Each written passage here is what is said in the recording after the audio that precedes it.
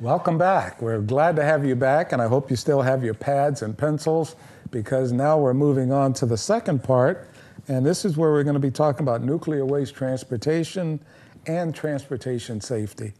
And my guest this time is Michael D'Allessio, and he's also with an advisory board that talks about nuclear waste. So this is the perfect person to come and talk to us today. So, Michael, welcome to the show. Thank you for inviting me.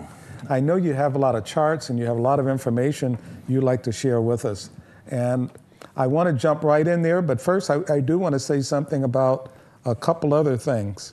And one is we have a blood drive coming up, and the blood drive is through the Rotary Club of Pahrump. And I, I want to talk about that just very quickly. That's on Friday and Saturday, November 13th and 14th. And for every donor, they'll receive a $10 Amazon card for every donor that comes in. And I wish you could see it on the screen, but you can call 702 233 9620 if you'd like to be a donor, and they'll schedule your appointment. We've got a couple other things we'll talk about later, but we want to get back to, to Michael and talk about nuclear waste transportation and transportation safety. So, how do you want to start this, Michael?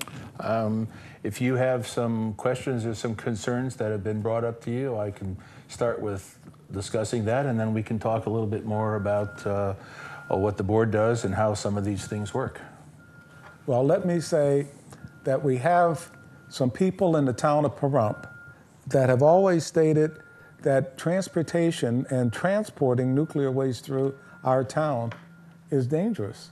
And it's so dangerous, and people are, are afraid of, of just having the, transport, the trucks come through. I'd like you to tell me how safe is this, and are we really having any problems? Well, uh, the transportation is extremely safe. Um, the transportation of radioactive materials is far safer than some of the other things that we see all the time, like ammonia gases and chlorine gases. Okay. Those are far more dangerous for transportation. Um, the materials that get transported here through the Pahrump area are low-level mixed waste.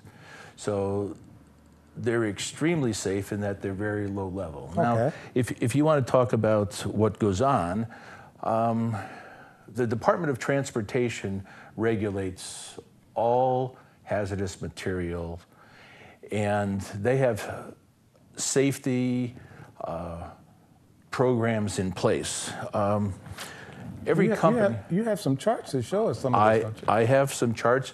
I can show you uh, some information about uh, what people normally see as transportation, semi trucks. Um, these are the kinds of things that people normally see coming through town here. Okay. And um, all of these containers that you see this material in are rated containers. They're uh, Department of Transportation uh, requirements as to how safe these containers are. And if you look at what low level radioactive waste is, for the most part, it's trash. It is materials that may have been contaminated over time through facilities that have dealt with radioactive materials. Okay. So it's not um, the radioisotopes that you would normally see. okay, it's something that may have been contaminated, so it has to be disposed of in a safe in a safe manner. So it could be uniforms, it could be equipment, it could be. It anything. could be a truck, it could be a computer. Um, it, in many cases, is dirt. Okay. It's just so it's not what people may think of. Uh, leftover nuclear bomb or something of that nature. Gotcha. Okay. And so, um, as added security, all of these companies have their own internal security plans, which all of their drivers are trained, uh, things to look out for, places to park, um, things to do, and then a plan if they should notice something. Uh, there's phone numbers, there's places that they can contact to get help if they think that they need that. Okay. And um, I, I just would like to say one thing. Uh, I'm sure people have seen chlorine uh, problems where trains have disrailed and things, and they evacuate for miles and miles away. Yes. I don't know that we've ever seen a radioactive or some waste uh, accident that has gotten the national news or any kind of, of uh, notoriety that some of these other things have had. So, the safety, if you think about it, when you look at gases and other hazardous materials that are shipped, the radioactive materials are far safer. You don't see these accidents and they're not um, publicized. If they were, I'm sure they would get much more publicity than. Well, absolutely. And I, I, like the way you say that because, again, I'm going to ease the, the minds for the people in Pahrump. Plus the fact that you're from Pahrump. So you're very I, concerned about this too. I am, and part of the reason I became a member of this of the board was because I live in this area, and I want to have a voice as to what things occur here. So that was part of the reasoning for me to do that. I also um, have experience in transportation of materials, so I have another side where I've been trained, so I know okay. the kinds of training that takes place for people to do that. And um, the other thing that people don't realize, we saw some of those vehicles that we normally see um, radioactive material on, mm-hmm. but no one ever talks about medical radioactive. That's true. That's true. You go to a hospital, and a hospital does testing. They do, um, if they give you a heart test where they inject you with a radioactive dye. Yes. How do you think that dye gets to that hospital or to that medical ah, place? Never thought of that.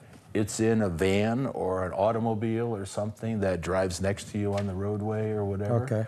So I want people to understand that the transportation of radioactive material is far greater than just what we see our trucks coming through here. And the trucks that you see here have far more training they have uh, far more regulations. Uh, the containers and so forth that they're transported in are far safer and okay. better. So, um, and um, so that maybe brings us to another point, which is Station 51 here in Pahrump. And I don't know if people realize, but we have a emergency technical response team here that is extremely well trained in hazardous material responses. Okay. To the point that um, the government and the transportation industry, they have training films where they train other emergency response uh, departments throughout the country. And our Station 51 and our Pahrump Valley Fire Department was chosen here some time ago to be the department that they used for a training film here because of the level of training that our departments here have. They were chosen to use our department to film this training film this to is, train this is other people. This is so, outstanding, and I, I know the people of Pahrump and Nye County want to hear about this because there's safety in this. There is, and if there were an incident here, I am extremely confident that this department would be able to handle it as well as anyone in the country because of the training that we have here. So okay. um, that's another part that's that's um, important. And um, just so people understand, um, just where all this material comes from, we have a um, a, a, map here of the United States. Well, that's a, um, a slide of what uh, the kinds of containers and, and where uh, this material, there's 41 DOE generators. And just so people understand, all of the material that comes here is Department of Energy uh, material. So there's no commercial waste, there's no, nothing that comes from outside of U.S. government materials. So that's the only material that comes here is U.S. government materials. And then there, um, you can see by this map here where materials are transported all the way across the country. And so it's not something that's locally here. It ends up here, but it travels across all these public highways um, to get here to the country. And then um, there's a statistic here from um, 2010 to 2014, and 74% of this um, material here has come through Pahrump on Highway 160. So even though there's a lot of material that's come here, it's very safe. We've had a lot of um, training here for our local people that come here, and uh, I don't see where there's a really big issue. And And you're talking about low-level waste. this is extremely low level waste. This is like getting an x-ray. If if you fly a lot, if you travel on an airplane for business and you're always traveling, your exposure to radiation is far greater than anything that you would get from what travels through Pahrump. Okay. So, um, and uh, people would like to get some more information. Um, this is the uh, information here for uh, the NSAB board. Uh, we are currently in a um, um, looking for new board members. This this year we're adding some more board members. So if someone is interested, if you really want to know about what's going on, you should get involved. Come to our meetings. There's meetings every other month. If you go to this website, you can see the meeting schedule. And um, this phone number is the phone number that goes to the NSAB board. If, you, if someone needed to reach me or wanted some more information, I'd be more than happy to speak to anyone one on one, get you some more information, and get involved. Find out more directly what's going on as opposed to what your next door neighbor or the guy across the street Absolutely. or somebody who you met in the grocery store told you. Okay, Michael, how long have you been on this advisory board? Um, th- I'm going on my second year on the advisory board.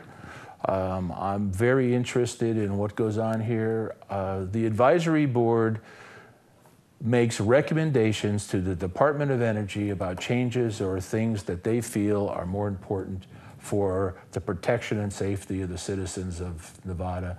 And my goal is for the safety of the citizens of Pahrump. So they do take our recommendations, they do act on them. Uh, so this is not just lip service, there's a lot of good that comes from what the advisory board gives as recommendations. Well, Michael, thanks again for being a guest on the show, and uh, we may have to bring you back another time to give us a complete update. Thank you very much. I appreciate the time. Okay.